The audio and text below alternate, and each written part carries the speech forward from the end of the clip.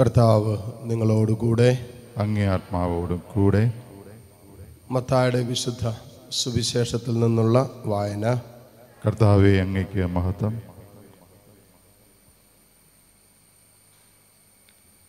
അദ്ധ്യായം പതിനൊന്ന് ഇരുപത്തിയഞ്ച് മുതൽ ഇരുപത്തിയേഴ് വരെയുള്ള തിരുവചനങ്ങൾ.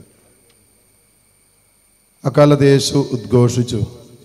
സ്വർഗത്തിന്റെയും ഭൂമിയുടെയും നാഥനായ പിതാവേ നീ കാര്യങ്ങൾ ബുദ്ധിമാന്മാരിലും വിവേകികളിൽ നിന്നും മറച്ച് ശിശുക്കൾക്ക് വെളിപ്പെടുത്തിയതിനാൽ ഞാൻ നിന്നെ സ്തുതിക്കുന്നു.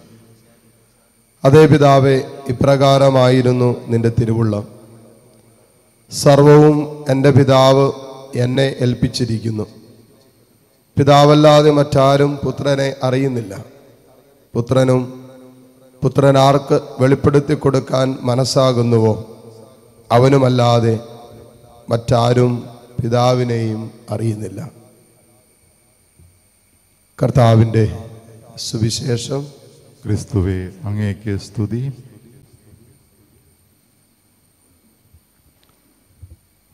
മിസിഹ ഏറ്റവും സ്നേഹമുള്ള മാതാപിതാക്കളെ സഹോദരി സഹോദരങ്ങളെ നമ്മുടെ ആത്മീയ ജീവിതത്തിന്റെ വളർച്ചയിൽ തീർച്ചയായിട്ടും ദൈവകൃപയിൽ നമ്മൾ വളരണമെന്ന് ദൈവം ആഗ്രഹിക്കുന്നുണ്ട്. കൃപയുടെ വളർച്ചയുമായിട്ട് ബന്ധപ്പെടുത്തി നമ്മൾ ചിന്തിക്കുമ്പോൾ ഇന്നത്തെ രണ്ട് വായനകളും നമ്മൾ നമുക്ക് തരുന്ന ഒറ്റ സന്ദേശമുള്ളൂ.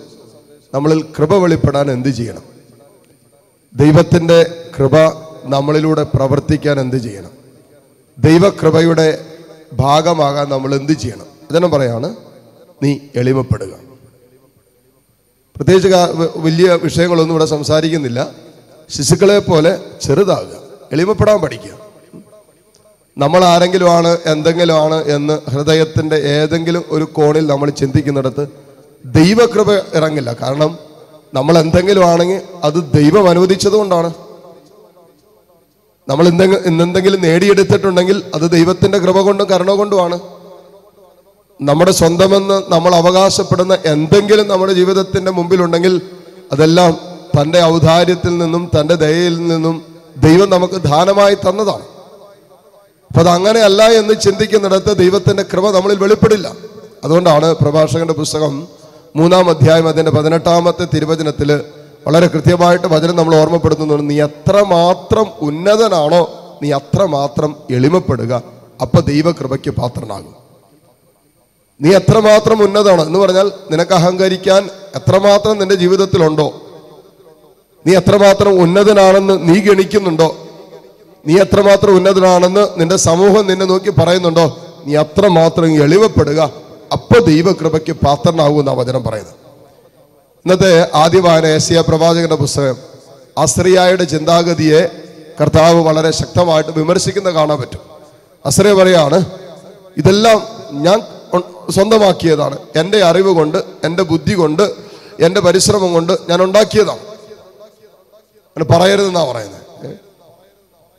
അതുകൊണ്ടാണ് സുവിശേഷത്തിലേക്ക് വരുമ്പോൾ ഈശോ പറയുന്നത് ബുദ്ധിമാന്മാരിൽ നിന്നും കർത്താവ് ചിലതൊക്കെ മറച്ചു വെച്ചിട്ടുണ്ട്. അതെന്താ? സ്വർഗീയ രഹസ്യങ്ങൾ ബുദ്ധിമാന്മാരിൽ നിന്ന്. എന്ന് പറഞ്ഞാൽ സ്വയം ബുദ്ധിമാന്മാരെന്ന് അഹങ്കരിക്കുന്നവരിൽ നിന്നും എളിമപ്പെടാൻ പറ്റാത്തവരിൽ നിന്നും സ്വർഗീയ രഹസ്യങ്ങൾ ഇന്നും മറയ്ക്കപ്പെട്ട് കിടക്കുക കുഞ്ഞുങ്ങൾക്ക് ശിശു ഹൃദയം ശിശു സഹജമായ ഒരു ഹൃദയമുള്ള ജീവിതത്തിന് കർത്താവ് ഇന്നും സ്വർഗീയ രഹസ്യങ്ങൾ വെളിപ്പെടുത്തി കൊടുക്കുന്നുണ്ട്.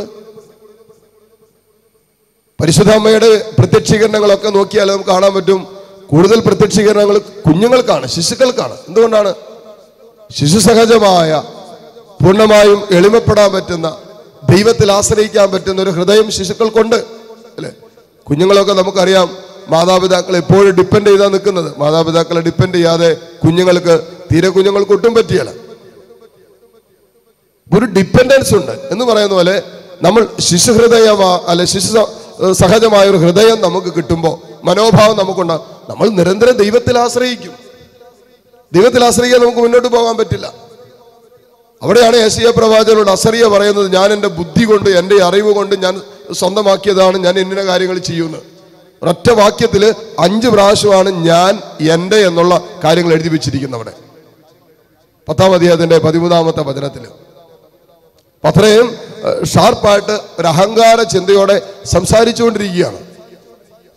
അതുകൊണ്ടാണ് കർത്താവ് പറഞ്ഞു ബുദ്ധിമാന്മാരിൽ നിന്നും കർത്താവ് ഒത്തിരി കാര്യങ്ങൾ മറച്ചു വെച്ചിട്ടുണ്ട്. നിനക്ക് ബുദ്ധിക്ക് അതീതമായ കാര്യങ്ങളുണ്ട്. ബുദ്ധി കൊണ്ട് മാത്രം മനസ്സിലാക്കാൻ പറ്റുന്ന കാര്യങ്ങളല്ല ഈ ലോകത്ത് സംഭവിച്ചുകൊണ്ടിരിക്കുന്നത്.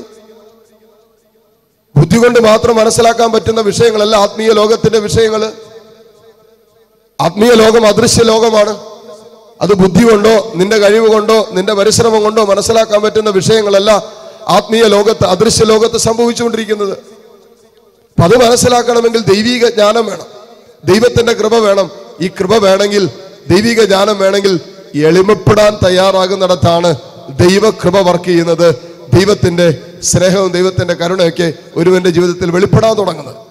അതുകൊണ്ടാണ് സുവിശേഷത്തിലേക്ക് വരുമ്പോൾ കർത്താവ് കൃത്യമായിട്ട് പറയുകയാണ് സ്വർഗത്തിന്റെയും ഭൂമിയുടെയും നാഥനായ പിതാവേ നീ ഇക്കാര്യങ്ങൾ ബുദ്ധിമാന്മാരിൽ നിന്നും വിവേകികളിൽ നിന്നും മറച്ച് ശിശുക്കൾക്ക് വെളിപ്പെടുത്തി കൊടുത്തതിനാൽ ഞാൻ നിന്നെ സ്തുതിക്കുന്നു.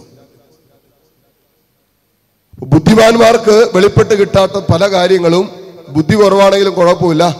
എളിമപ്പെടാൻ പറ്റുന്ന എളിമയുള്ള ഒരു ഹൃദയത്തിന് സ്വർഗം വെളി അത് സ്വർഗീയ രഹസ്യങ്ങളാണ്. ഭൂമിയിലെ കാര്യങ്ങൾ നമുക്ക് നമ്മുടെ അധ്വാനം കൊണ്ടും നമ്മുടെ പരിശ്രമം കൊണ്ടും നമ്മുടെ കണ്ടുപിടുത്തം കൊണ്ടൊക്കെ ഭൂമിയിലെ കാര്യങ്ങളൊക്കെ കുറെ മനസ്സിലാക്കാൻ പറ്റും. ശാസ്ത്രലോകം വളർന്നു. ദൈവം കൊടുത്ത ബുദ്ധി കൊണ്ട് ശാസ്ത്രം വളർന്നിട്ടുണ്ട് ഇനിയും വളർന്നുകൊണ്ടിരിക്കും എന്ന് കരുതി ശാസ്ത്രം എല്ലാം മനസ്സിലാക്കിയിട്ടുണ്ടോ? ഭൂഗോളത്തിന്റെ ഇപ്പോഴും പറഞ്ഞു വരുന്ന നൂറിൽ ഏതാനും ശതമാനം മാത്രമേ മനുഷ്യന്റെ ബുദ്ധി കൊണ്ട് ഇന്നും മനസ്സിലാക്കിയിട്ടുള്ളൂ. വരും കാലങ്ങളിൽ ഈ ദൈവം കൊടുത്ത ബുദ്ധി കൊണ്ട് മനുഷ്യൻ ഈ ലോകത്തെ മനസ്സിലാക്കിക്കൊണ്ടിരിക്കുകയാണ് എന്നാൽ ലോകത്തെ മനസ്സിലാക്കാൻ പറ്റും ദൈവത്തെ മനസ്സിലാക്കണമെങ്കിൽ ദൈവിക ജ്ഞാനം നമുക്ക് കിട്ടിയാലേ മനസ്സിലാക്കാൻ പറ്റൂ. ആത്മീയ രഹസ്യങ്ങൾ മനസ്സിലാക്കണമെങ്കിൽ സ്വർഗത്തിൽ നിഗൂഢമായിരിക്കുന്ന രഹസ്യങ്ങൾ മനസ്സിലാക്കണമെങ്കിൽ ഒരുവൻ ദൈവകൃപയോട് സഹകരിച്ചാലേ പറ്റുള്ളൂ. അതിന് അവൻ എളിമപ്പെടാൻ പറ്റാവുന്നതിന്റെ അങ്ങേ അറ്റം എളിമപ്പെട്ടിട്ട് ദൈവം ഞാനൊന്നുമല്ല.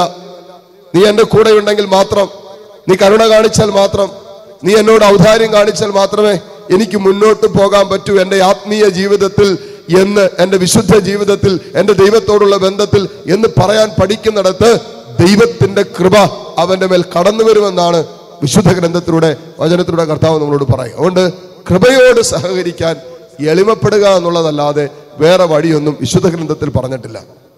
പരിശുദ്ധ അമ്മയെ നോക്കിയിട്ട് സ്വർഗം പറഞ്ഞത് കൃപ നിറഞ്ഞവളെ എന്നാ പറഞ്ഞത് കൃപ നിറഞ്ഞവളെ കൃപയുടെ നിറവേ. ഒരാളെ നോക്കിയിട്ട് ഒരു മനുഷ്യ സ്ത്രീയെ നോക്കിയിട്ട് സ്വർഗം പറയുകയാണ് നീ കൃപ നിറഞ്ഞവളാണ്. അതിന് കാരണം എന്താ? അമ്മ തന്നെ പറഞ്ഞുകൊണ്ട് എന്റെ താഴ്മയെ സ്വർഗം കടാക്ഷിച്ചു. എളിമയെ സ്വർഗം കടാക്ഷിച്ചു. എളിമപ്പെട്ടപ്പോൾ കൃപ നിറഞ്ഞു. അപ്പൊ എത്രമാത്രം നമ്മൾ എളിമപ്പെടുന്നോ അത്രമാത്രം കൃപയുള്ളവരായിട്ട് നമ്മൾ മാറും. കൃപയില്ലാതെ ഈ ലോക ജീവിതത്തിൽ വിശുദ്ധ ജീവിതം സാധ്യമല്ല. ദൈവത്തോടുള്ള ബന്ധം സ്ഥാനമല്ല. ദൈവത്തോട് ഐക്യപ്പെട്ട് ജീവിക്കുക അസാധ്യമായി കടന്നു പോകുന്ന ഈ കാലഘട്ടത്തിൽ കൃപയോട് സഹകരിക്കാൻ എളിമുള്ളവരാകാം ദൈവത്തിന്റെ മുമ്പിലും സമൂഹത്തിന്റെ മുമ്പിലൊക്കെ എളിമപ്പെട്ട് ജീവിക്കാൻ പരിശുദ്ധാത്മാവ് നമ്മളെ സഹായിക്കട്ടെ. അതിനുള്ള കൃപയ്ക്കായിട്ട് ഈ ബലിയിലൂടെ പ്രാർത്ഥിക്കുകയും യാചിക്കുകയും ചെയ്യാം. ആമേൻ.